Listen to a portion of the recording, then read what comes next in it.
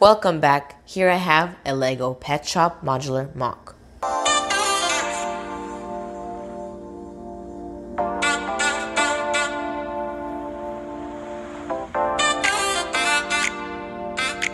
Here in the front, I added some white and light green colored slopes.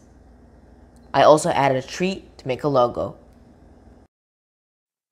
From the side to the back, we see a teal colored and white colored slopes and we see flowers and I added glass and wood panels. First comes off the roof, then the second floor. Let's go inside. On the first floor, I made the stairs easily removable so I can have easier access. Here's a dog. I think this is a better view. Here we have bowls for your dogs and cats. And here's a sink to wash your dog. I also made some soap. And here's a better view of the sink. I like it because the dog fits inside.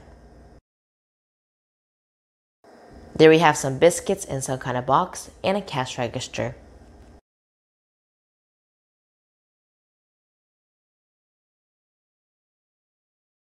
Going up the stairs, we see a picture, and there's a balcony. I also used a snot brick technique to apply the wood. This is a cat and a bed, and here's the door to go inside the bathroom. And inside the bathroom, we have a shower and a toilet. Here's a better view of the toilet. And here's the roof. I added door frames so it can add light to the building. And until next time.